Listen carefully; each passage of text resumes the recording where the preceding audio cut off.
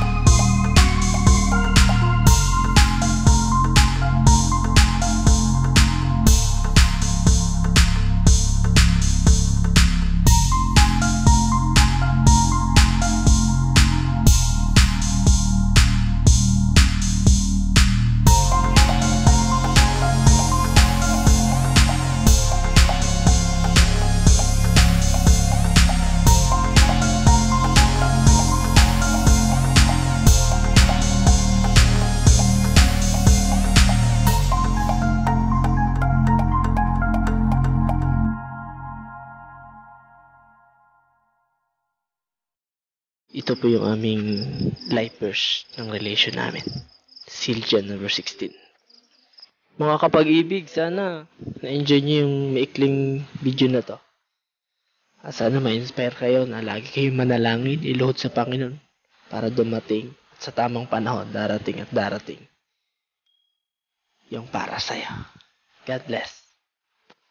Thank you, thank you.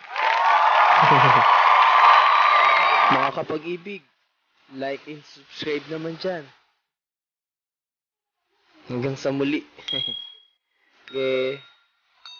Like and subscribe.